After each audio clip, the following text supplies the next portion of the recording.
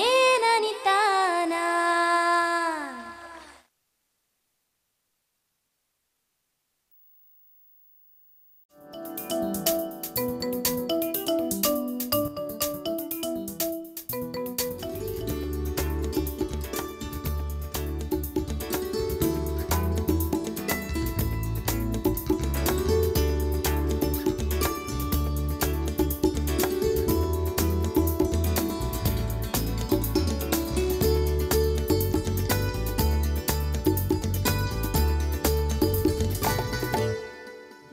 ರೈತ ಬಾಂಧವರೇ, ನಮಸ್ಕಾರ.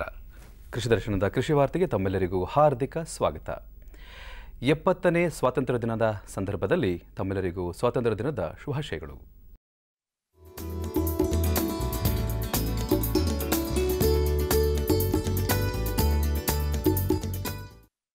ಮಂಡ್ಯ ತಾಲೂಕು ಕೊತ್ತತ್ತಿ ಗ್ರಾಮದಲ್ಲಿ ಕೃಷಿ ಯಂತ್ರಧಾರೆ ಯೋಜನೆಯಡಿ ಕೃಷಿ ಯಂತ್ರೋಪಕರಣಗಳ ಬಾಡಿಗೆ ಆಧಾರಿತ ಕೇಂದ್ರವನ್ನು ಆರಂಭಿಸಲಾಗಿದೆ. ಇತ್ತೀಚೆಗೆ ಶ್ರೀರಂಗಪಟ್ಟಣದ ಶಾಸಕರಾದ ಶ್ರೀ ರಮೇಶ್ ಬಾಬು ಬಂಡಿಸಿದ್ದೇಗೌಡ ಅವರು ಕೇಂದ್ರವನ್ನು ಉದ್ಘಾಟಿಸಿದರು. ಈ ಒಂದು ಕೇಂದ್ರದಲ್ಲಿ ವಿ ಎಸ್ ಟಿ ಒಡಂಬ, ವಿ ಎಸ್ ಟಿ ಸಂಸ್ಥೆಯೊಂದಿಗೆ ಒಡಂಬಡಿಕೆ ಮಾಡಿಕೊಂಡು ಮಿಸಸ್ ಸಿದ್ದೇಶ್ವರ ಎಂಟರ್ಪ್ರೈಸಸ್ ಅವರ ಒಂದು ನಿರ್ವಹಣಾ ನಿರ್ವಹಣೆಯಲ್ಲಿ ಈ ಕೇಂದ್ರವನ್ನು ಓಪನ್ ಮಾಡಿದ್ದೇವೆ. ಈ ಕೇಂದ್ರದಲ್ಲಿ ಎಲ್ಲ ಕೃಷಿ ಯಂತ್ರೋಪಕರಣಗಳನ್ನು ಬಾಡಿಗೆ ಆಧಾರದ ಮೇಲೆ ರೈತರಿಗೆ, ಸಣ್ಣ ಮತ್ತು ಅತಿ ಸಣ್ಣ ರೈತರಿಗೆ ಆದ್ಯತೆ ಮೇಲೆ, ಮೊದಲು ಬಂದವರಿಗೆ ಮೊದಲ ಆದ್ಯತೆ ಮೇಲೆ ಕೊಡಲಾಗುತ್ತದೆ. ಮೊದಲ ಹಂತದಲ್ಲಿ ಶೇಕಡ ಇಪ್ಪತ್ತೈದು ಸಂಸ್ಥೆಯವರು ಶೇಕಡ ಎಪ್ಪತ್ತೈದು ರಾಜ್ಯ ಸರ್ಕಾರ ನೀಡುತ್ತೆ. ಒಟ್ಟು ಐವತ್ತು ಲಕ್ಷದಲ್ಲಿ ಮೂವತ್ತೇಳುವರೆ ಲಕ್ಷವನ್ನು ರಾಜ್ಯ ಸರ್ಕಾರ ಹಾಗೂ ಹನ್ನೆರಡೂವರೆ ಲಕ್ಷವನ್ನು ಸಂಸ್ಥೆಯವರು, ಅಂದರೆ ವಿ ಎಸ್ ಟಿ ಸಂಸ್ಥೆಯವರು ನೀಡುತ್ತಾರೆ. ಅದೇ ರೀತಿ ಎರಡನೇ ಹಂತದಲ್ಲಿ, ಎರಡನೇ ವರ್ಷದಲ್ಲಿ ಶೇಕಡ ಐವತ್ತರಂತೆ ಇವು ಒಟ್ಟು ಇಪ್ಪತ್ತೈದು ಲಕ್ಷ. ಅದರಲ್ಲಿ ಹನ್ನೆರಡೂವರೆ ಲಕ್ಷವನ್ನು ಸರ್ಕಾರ ಹಾಗೂ ಹನ್ನೆರಡೂವರೆ ಲಕ್ಷವನ್ನು ಕೆ ಸಂಸ್ಥೆಯವರು ನೀಡಿ ಯಂತ್ರೋಪಕರಣಗಳನ್ನು ಖರೀದಿಸಲಾಗುತ್ತೆ. ಮಾರುಕಟ್ಟೆಯಲ್ಲಿ ದೊರೆಯುವ ರೈತರಿಗೆ ಸಿಗುವಂಥ ಒಂದು ಏನು ದರ ಇದೆ, ಅದಕ್ಕಿಂತ ಶೇಕಡ ಹತ್ತರಿಂದ ಇಪ್ಪತ್ತು ಕಡಿಮೆ ದರದಲ್ಲಿ ರೈತರಿಗೆ ಈ ಒಂದು ಬಾ ಯಂತ್ರಗಳನ್ನು ಬಾಡಿಗೆಗೆ ನೀಡಲಾಗುತ್ತೆ ಇಲ್ಲಿ ಎಲ್ಲ ರೀತಿಯಾದಂಥ ಯಂತ್ರೋಪಕರಣಗಳು, ಕೃಷಿಗೆ ಬಳಸುವಂಥ ಯಂತ್ರೋಪಕರಣಗಳು ಅಂದರೆ ಟ್ರ್ಯಾಕ್ಟರ್ ಆಗ್ಬೋದು ಪವರ್ ಟಿಲ್ಲರ್ ಆಗ್ಬೋದು ರೋಟೋವೇಟರ್ಗಳಾಗ್ಬೋದು ಕಲ್ಟಿವೇಟರ್ಗಳಾಗ್ಬೋದು ಡ್ರಮ್ ಸೀಡರ್ ಆಗ್ಬೋದು, ಬೇರೆ ಬೇರೆ ವಿವಿಧ ಕೃಷಿ ಚಟುವಟಿಕೆಗಳಿಗೆ ಬಳಕೆಯಾಗುವಂಥ ಯಂತ್ರೋಪಕರಣಗಳನ್ನು ರೈತರಿಗೆ ಬಾಡಿಗೆ ಆಧಾರದಲ್ಲಿ ದೊರಕಲಿಕ್ಕೆ ಅಂತೇಳಿ ಹೋಬಳಿ ಮಟ್ಟದಲ್ಲಿ ನಾವು ಈ ಕೇಂದ್ರವನ್ನು ಸ್ಥಾಪನೆ ಮಾಡಿದ್ದೀವಿ ಯಾವ ಯಾವ ಸಣ್ಣ, ಅತಿ ಸಣ್ಣ ರೈತರು ಯಂತ್ರಗಳನ್ನು ಅಷ್ಟು ದುಬಾರಿ ವೆಚ್ಚವನ್ನು ಭರಿಸಿ ಕೊಂಡ್ಕೊಳ್ಳಿಕ್ಕಾಗೋದಿಲ್ವೋ ಅಂಥ ರೈತರು ಇದನ್ನು ಬಾಡಿಗೆ ಆಧಾರದಲ್ಲಿ ಒಂದೇ ಕೇಂದ್ರದಲ್ಲಿ ಅವರು ಮುಂಗಡವಾಗಿ ಅದನ್ನು ಬುಕ್ ಮಾಡಿ ಬಾಡಿಗೆಗೆ ಪಡ್ಕೊಳ್ಬೋದಾಗಿದೆ.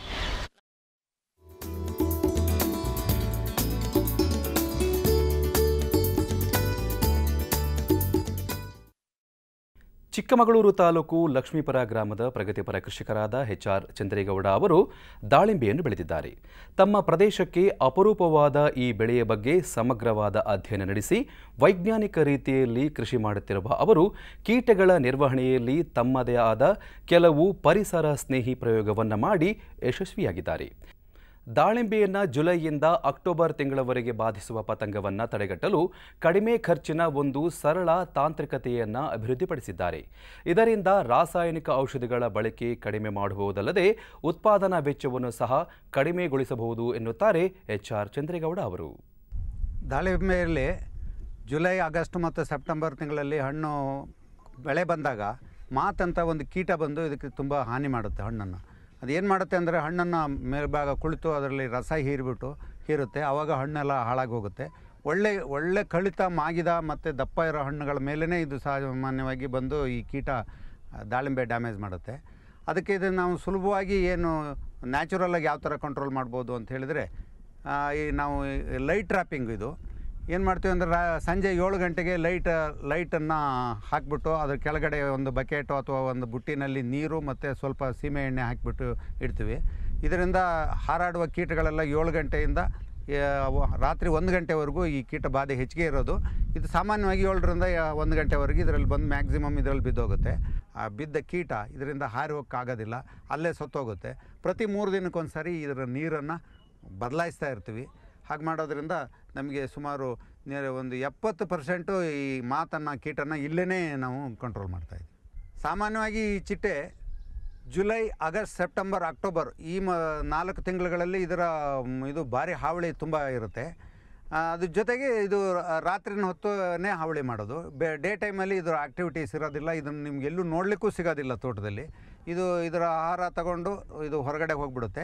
ಇದು ಹೇಗೆ ಇದರ ಹಣ್ಣಿನ ಮೇಲೆ ಯಾವ ಥರ ಅಟ್ಯಾಕ್ ಮಾಡುತ್ತೆ ಅಂತ ಹೇಳಿದರೆ ಇದು ಸ ಪರಿಮಳ ಬರ್ತಿರೋ ಹಣ್ಣು ಆ ಹಣ್ಣಿಗೆ ಮಾತ್ರ ಅಟ್ಯಾಕ್ ಮಾಡುತ್ತೆ. ಸಾಮಾನ್ಯವಾಗಿ ಮೊದಲನೇ ಕ್ವಾಲಿಟಿ ಏನು ದಪ್ಪ ಹಣ್ಣುಗಳಿರುತ್ತೆ ಗಿಡದ ಹೊರಭಾಗದಲ್ಲಿ ಯಾವಿರುತ್ತೆ ಆ ಹಣ್ಣುಗಳ ಮೇಲೆ ಹೋಗಿ ಕೂರುತ್ತೆ ಕೂತ್ಬಿಟ್ಟು ಅದರ ಆ, ಒಂದು ನೀಡ್ಲು ಟೈಪ್ ಇರುತ್ತೆ ಅದ್ರ ಬಾಯಲ್ಲಿ.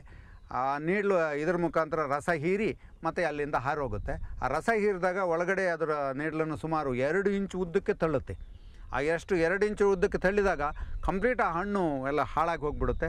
ಒಳಗಡೆ ಎರಡು ಮೂರು ದಿವಸದಲ್ಲಿ ಅದು ಕೊಳೆಯೋಕ್ಕೆ ಶುರುವಾಗುತ್ತೆ. ಆ ಕೊಳೆಯೋಕ್ಕೆ ಶುರುವಾದಾಗ ಹಣ್ಣಿನ ಇದಾಗುತ್ತೆ. ಅದರಲ್ಲಿ ಸುಮಾರು ನಲವತ್ತರಿಂದ ಐವತ್ತು ಪರ್ಸೆಂಟ್ ಹಣ್ಣು ಡ್ಯಾಮೇಜ್ ಮಾಡೋದು ಉಂಟು ಈ ಇದರಲ್ಲಿ. ಸುಮ್ಮ ಸಾಮಾನ್ಯವಾಗಿ ಒಂದು ಎಕರೆ ಇದನ್ನು ರಾಸಾಯನಿಕ ಕೆಮಿಕಲ್ ಇವನ್ನು ಹೊಡೆದು ನಾವು ಕಂಟ್ರೋಲ್ ಮಾಡಬೇಕು ಅಂತ ಹೇಳಿದರೆ ಒಂದು ಎಕರೆಗೆ ನಾಲ್ಕರಿಂದ ಐದು ಸಾವಿರ ರೂಪಾಯಿ ಖರ್ಚಾಗುತ್ತೆ. ಬಟ್ ಇಲ್ಲಿ ನಮಗಾಗೋದು ಕೇವಲ ಒಂದು ನೂರು ರೂಪಾಯಿ. ಹೀಗೆ ನಾವು ಮಾಡೋದರಿಂದ ನಾವು ಇಲ್ಲಿ ಉತ್ಪಾದನಾ ವೆಚ್ಚವನ್ನು ಆದಷ್ಟು ನಾವು ಕಡಿಮೆ ಮಾಡ್ಬೋದು. ದಾಳಿಂಬೆ ಉತ್ಪಾದನಾ ವೆಚ್ಚವನ್ನು ಕಡಿಮೆ ಮಾಡ್ಬೋದು. ರಾಸಾಯನಿಕವನ್ನು ಬ, ಬಳಸೋದ್ರಿಂದ ನಮಗೆ ಎರಡು ಮೂರು ರೀತಿಯ ಅನಾಹುತಗಳು ಸಹ ಆಗುತ್ತೆ ರೈತರಿಗೆ. ಮೊದಲನೇದು ಏನು ಅಂತ ಹೇಳಿದರೆ ಹಣ್ಣು ವಿಷಪೂರಿತ ಆಗ್ತವೆ. ಅದರಿಂದ ಹೊರಗಡೆ ಮಾರ್ಕೆಟಲ್ಲಿ ಅದು ಎಕ್ಸ್ಪೋರ್ಟ್ ಮಾಡೋದಾದ್ರೆ ಅದಕ್ಕೆ ಬೇಡಿಕೆ ಕಡಿಮೆ ಆಗುತ್ತೆ. ಜೊತೆಗೆ ನಾವು, ನಾವೇ ತಿನ್ನೋದಾದ್ರೂ ವಿಷ ತಿನ್ನಬೇಕೇ ವಿನ ಹಣ್ಣು ತಿನ್ನೋ ಹಾಗಿರಲ್ಲ. ಹಾಗಾಗಿ ನಾವು ಆ ಉದ್ದೇಶ ಇಟ್ಕೊಂಡು ಈಗ ಕೀಟ, ಇದಕ್ಕೆ ಈ ಕೀಟಗಳನ್ನು ಹಾವಳಿ ತಡೆಯಲು ಯಾವುದೇ ರಾಸಾಯನಿಕ ವಸ್ತುಗಳನ್ನು ನಾನು ಬಳಸ್ತಾ ಇಲ್ಲ. ಅದ್ರ ಬದಲಿಗೆ ಈ ಲೈಟ್ ಟ್ರಾಪರ್ಸನ್ನು ಯೂಸ್ ಮಾಡ್ತಾ ಇದ್ದೀನಿ.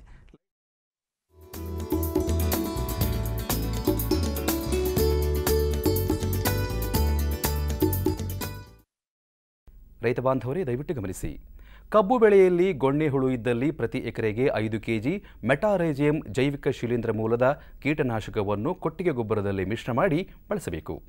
ಮಳೆ ಬರುತ್ತಿರುವ ಮತ್ತು ಮೋಡ ಕವಿದ ಆರ್ದ್ರ ವಾತಾವರಣ ಇದ್ದಲ್ಲಿ ಈ ಜೈವಿಕ ಪೀಡನಾಶಕ ಹೆಚ್ಚು ಪರಿಣಾಮಕಾರಿ.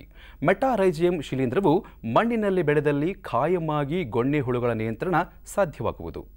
ಹತ್ತಿ ಬೆಳೆಯಲ್ಲಿ ಹಲವೆಡೆ ಪೋಷಕಾಂಶದ ಕೊರತೆಯಿಂದಾಗಿ ಎಲೆ ಕೆಂಪಾಗುವಿಕೆ ಕಂಡುಬಂದಿದ್ದು, ಇದರ ನಿಯಂತ್ರಣಕ್ಕೆ ಹತ್ತು ಗ್ರಾಂ ಮೆಗ್ನೀಷಿಯಂ ಸಲ್ಫೇಟ್ ಮತ್ತು ಹತ್ತು ಗ್ರಾಂ ಹತ್ತೊಂಬತ್ತು ಹತ್ತೊಂಬತ್ತು ಹತ್ತೊಂಬತ್ತು ರಸಗೊಬ್ಬರವನ್ನು ಪ್ರತಿ ಲೀಟರ್ ನೀರಿನಲ್ಲಿ ಬೆರೆಸಿ ಸಿಂಪರಣೆ ಮಾಡಬೇಕು ಎಂದು ರದ್ದೆ ವಾಡಗೆಯಲ್ಲಿರುವ ಕೃಷಿ ವಿಜ್ಞಾನ ಕೇಂದ್ರದ ವಿಜ್ಞಾನಿಗಳು ತಿಳಿಸಿದ್ದಾರೆ. ಎರಡು ಸಾವಿರದ ಹದಿನಾರು ಹದಿನೇಳನೇ ಸಾಲಿಗೆ ಕೇಂದ್ರ ಸರ್ಕಾರ ಮುಂಗಾರಿನ ವಿವಿಧ ಬೆಳೆಗಳಿಗೆ ಪ್ರಕಟಿಸಿರುವ ಬೆಂಬಲ ಬೆಲೆಗಳು ಹೀಗಿವೆ. ಈ ಬೆಲೆಗಳು ಪ್ರತಿ ಕ್ವಿಂಟಾಲ್ಗೆ ಭತ್ತ ಸಾಮಾನ್ಯ ಒಂದು ಸಾವಿರದ ನಾನ್ನೂರ ಎಪ್ಪತ್ತು ರೂಪಾಯಿ. ಗ್ರೇಡ್ ಎ ಒಂದು ಸಾವಿರದ ಐನೂರ ಹತ್ತು ರೂಪಾಯಿ. ಜೋಳ ಹೈಬ್ರಿಡ್ ಸಾವಿರದ ಆರುನೂರ ಇಪ್ಪತ್ತೈದು ರೂಪಾಯಿ. ಮಾಲ್ದಂಡಿ ಒಂದು ಸಾವಿರದ ಆರುನೂರ ಐವತ್ತು ರೂಪಾಯಿ. ಸಜ್ಜೆ ಒಂದು ಸಾವಿರದ ಮುನ್ನೂರ ಮೂವತ್ತು ರೂಪಾಯಿ. ಮುಸುಕಿನ ಜೋಳ ಒಂದು ಸಾವಿರದ ಮುನ್ನೂರ ಅರವತ್ತೈದು ರೂಪಾಯಿ. ರಾಗಿ ಒಂದು ಸಾವಿರದ ಏಳ್ನೂರ ಇಪ್ಪತ್ತೈದು ರೂಪಾಯಿ. ತೊಗರಿ ಐದು ಸಾವಿರದ ಐವತ್ತು ರೂಪಾಯಿ. ಹೆಸರುಕಾಳು ಐದು ಸಾವಿರದ ಇನ್ನೂರ ಇಪ್ಪತ್ತೈದು ರೂಪಾಯಿ. ಉದ್ದು ಐದು ಸಾವಿರ ರೂಪಾಯಿ, ಸಿಪ್ಪೆ ಸಹಿತ ಶೇಂಗಾ ನಾಲ್ಕು ಸಾವಿರದ ಇನ್ನೂರ ಇಪ್ಪತ್ತು ರೂಪಾಯಿ, ಸೋಯಾಬೀನ್ ಎರಡು ಸಾವಿರದ ಏಳ್ನೂರ ಎಪ್ಪತ್ತೈದು ರೂಪಾಯಿ, ಸೂರ್ಯಕಾಂತಿ ಬೀಜ ಮೂರು ಸಾವಿರದ ಒಂಬೈನೂರ ಐವತ್ತು ರೂಪಾಯಿ, ಹುಚ್ಚೆಳ್ಳು ಮೂರು ಸಾವಿರದ ಎಂಟುನೂರ ಇಪ್ಪತ್ತೈದು ರೂಪಾಯಿ, ಎಳ್ಳು ಐದು ಸಾವಿರ ರೂಪಾಯಿ, ಹತ್ತಿ ಮಧ್ಯಮ ಎಳೆ ಮೂರು ಸಾವಿರದ ಎಂಟುನೂರ ಅರವತ್ತು ರೂಪಾಯಿ, ಹತ್ತಿ ಉದ್ದವಾದ ಎಳೆ ನಾಲ್ಕು ಸಾವಿರದ ಒಂದು ನೂರ ಅರವತ್ತು ರೂಪಾಯಿ.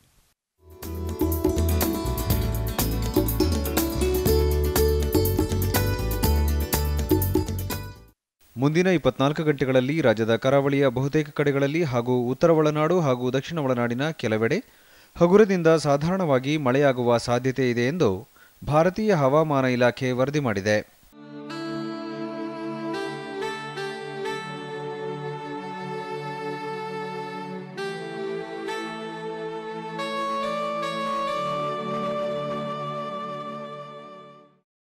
ಈ ಎಪ್ಪತ್ತನೇ ಏನು ಸ್ವಾತಂತ್ರ್ಯೋತ್ಸವದ ದಿನ ಇದೆ. ಆ ದಿನ, ಆ ದಿವಸದಂದು ಇಡೀ ಕರ್ನಾಟಕ ರಾಜ್ಯದ ರೈತರಿಗೆ ಒಳ್ಳೆಯದಾಗಲಿ, ಹಿತ ಆಗಲಿ, ಆರೋಗ್ಯ ಮತ್ತು ಐಶ್ವರ್ಯ ಕೊಡಲಿ ಅಂತ ನಾನು ನನ್ನ ಪರವಾಗಿ ಹೇಳ್ತೀನಿ.